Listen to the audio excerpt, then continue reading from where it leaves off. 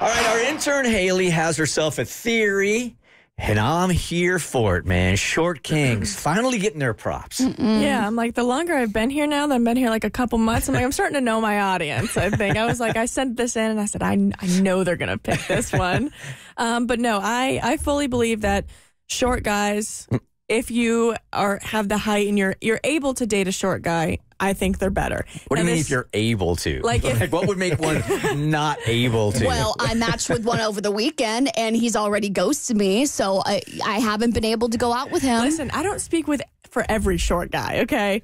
But listen, tall guys are great and everything, but I think for tall women, like my stepdad is six foot six, but that's okay because my mom is five foot ten. You know what I mean? I'm only five six, so I'm like, you know what? I'm gonna kind of lower the lower the threshold that I think I need to date. Hmm. my boyfriend right now, we're the exact same size. oh yeah, and he's a hockey player. Yeah, he's he's a tiny one.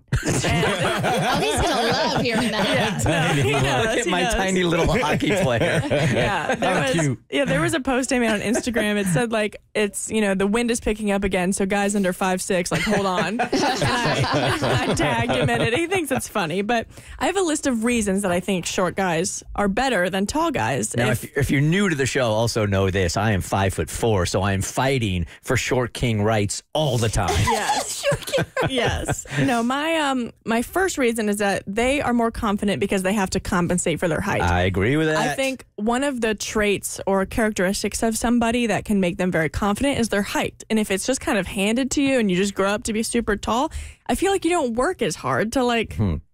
to you know get women or you know whatever. I will absolutely add credibility to this that I do think that short guys have we have to develop our personalities better than tall guys. We don't have a chance when we walk into a bar or a club.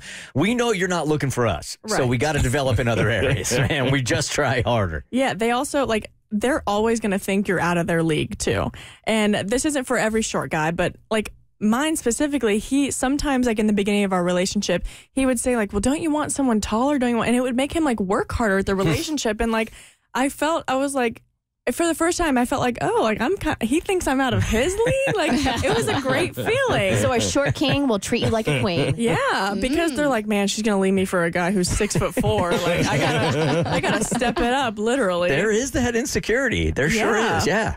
Um, mm, the third reason, it's easier to match height during intimacy. So Hmm. when I kiss him, I don't have to hurt my neck.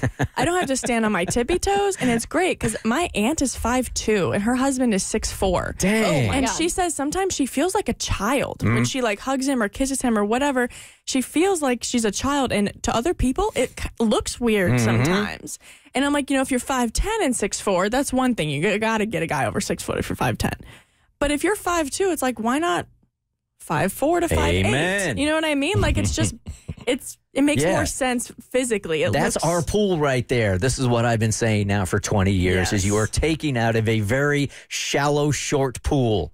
If you are a woman that is like five two and you end up with a guy that's six five, it's infuriating. Yeah. Need some balance. I get it. Yeah, because then you have women like my mom who are like, man, I can't find a single dance partner that's over six feet tall. And then she saw my stepdad and was like, ooh, you're tall. I can dance with you now. um, my fourth reason is I don't ever feel like I have to wear heels sometimes because I think if you're a short woman dating a tall guy, you're like, man, I have to wear heels so I don't look like I'm his daughter when we go out places. I get to wear complete flats on my wedding day, and I'm so excited. I know I could either way, but like, I'm so excited about that. Because they're more comfortable. Yeah. Uh-huh. I don't have to walk around in four inch heels so I can reach him when I kiss him. That's funny because I feel like most girls have the opposite. They're like, I want to date a tall guy so that I can wear heels. I don't want to Yeah. throw out all my good Louboutins. Right. No, the short guys are also um, more likely to stay married longer than tall guys in a study done by NYU. Because we're, we're scared to leave that relationship because there's That nobody else. insecurity again. Yeah. Nobody They else out there is going to love us at- at this height. Yeah. They can also sit in the back seat of a car better, which I get car sick, so I always need the front seat. I could just throw him in the back and he's good. And we fit right in the baby seat. Yeah. Okay, so there's five or six reasons right there. I like that. They're all good too. The Bert Show.